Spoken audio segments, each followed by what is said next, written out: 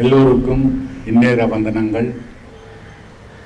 இனிமையான சுவீச்சமான வளமான ஆரோக்கியமான இருபது இருபத்தொண்டமைய உளம் மலர்ந்து வாழ்த்துகின்றேன்.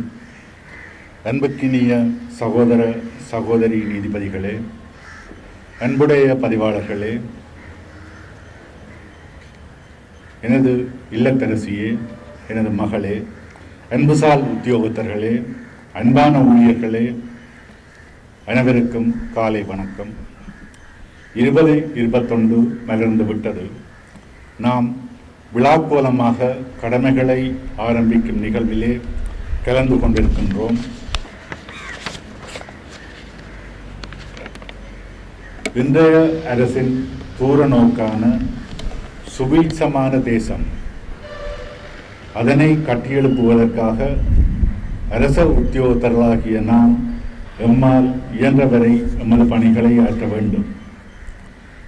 வருட ஆரம்பத்தில் உறுதியுரைகளை செய்து எமது பணிகளை முன்னெடுக்கும் நாம் தொடர்ச்சியாக குறித்த உறுதியுரைகளுக்கு அமைய நடந்து கொள்ளுகின்றோமா என எம்மை நாமே கேள்வி கேட்க வேண்டும்.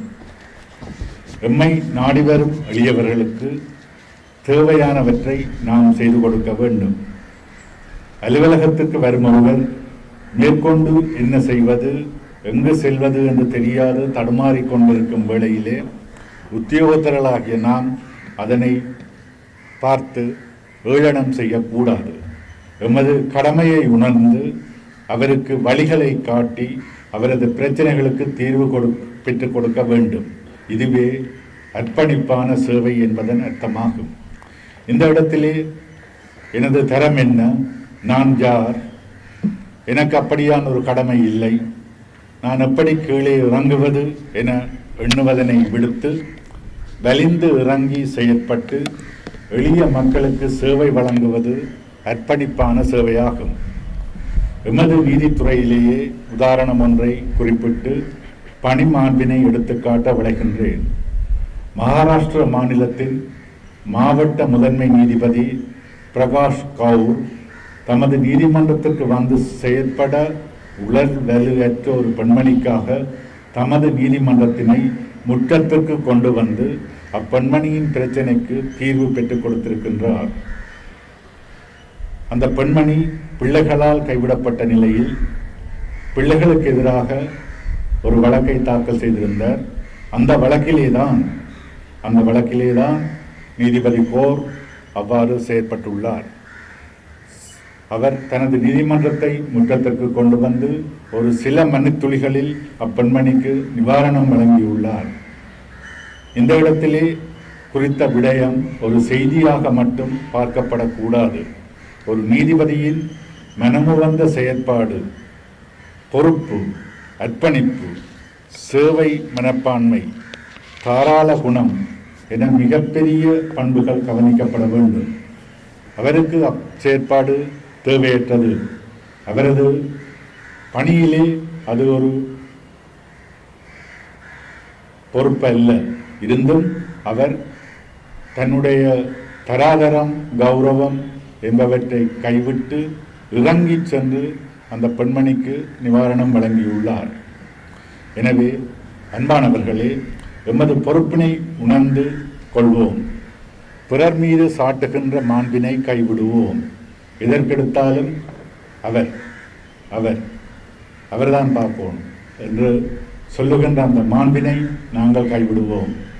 இங்கு எமது அலுவலகத்திலேயே அவ்வாறான எத்தனையோ விடயங்கள் இது ஹைகோர்ட் பார்க்கணும். எம்சி பார்க்குறது இல்லை டிசி பார்க்குறது இல்லை. அப்படியான ஒரு பண்பு எங்களுக்கு இருக்கின்றது. எனவே பிறர் மீது சாட்டுகின்ற அந்த மாண்பினை நாங்கள் கைவிட வேண்டும். எதையும் எவ்வேளையிலும் முகம் கொடுக்க தயாராகவும் இதுவும் கடந்து செல்லும். வெல்வோம்.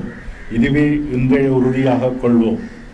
அலுவலகத்துக்கு உள்நிலையும் வேளையில் எமது உறுதியுரையை ஞாபகமும் கொள்வோம். எமது மேசையிலிருந்து கடமையாற்றும் வேளையில் குறித்த உறுதியுரையின் மீதே செயற்படுவோம். இருபது இருபது மிகவும் சோதனை மிக்கதாக கடந்துள்ளது.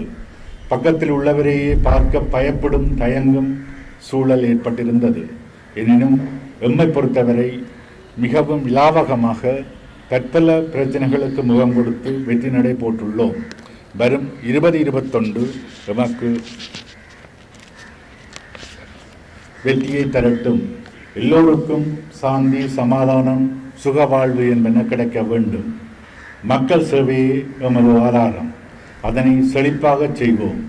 அனைவருக்கும் இனிமையான சுபீட்சமான ஆரோக்கியமான புத்தாண்டு அமைய எல்லோருக்கும் பொதுவான இறைவனை பிரார்த்திக்கின்றேன். உங்கள் ஒவ்வொருவருக்கும் மற்றும் உங்கள் உறவுகளுக்கும் தனித்தனியாக ஆங்கில புத்தாண்டு வாழ்த்துக்களை தெரிவித்து அமைகின்றேன்.